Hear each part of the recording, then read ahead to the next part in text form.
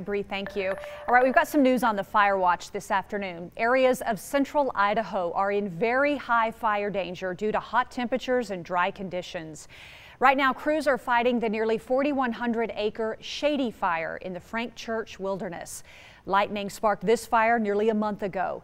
There are no fire restrictions at this time, but campers are urged to be cautious. The Forest Service has closed off several trails in the Salmon Challis National Forest, Middle Fork Ranger District, and Custer County due to safety hazards. Lightning is also to blame for the 1,700 acre Cove Creek fire in the Salmon Challis National Forest. It sparked on Saturday, about 23 miles southwest of North Fork. The fire is also causing multiple trail closures throughout the Salmon Challis National Forest.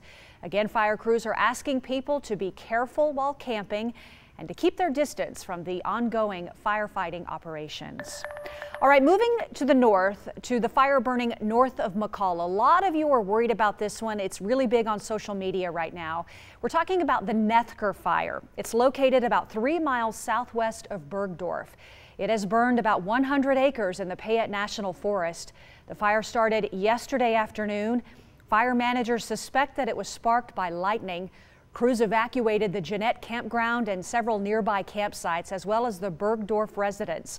And Burgdorf Hot Springs remains closed until further notice. We do have a crew headed up to that area, and we'll bring you more on our evening newscast and at ktvb.com. In the meantime, another fire to tell you about. Lightning also sparking two fires in the Nez Perce National Forest.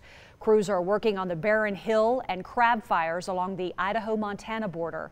The Barren Hill fire started in late June. It is being monitored, but the Forest Service is letting that fire burn out to naturally restore the local landscape.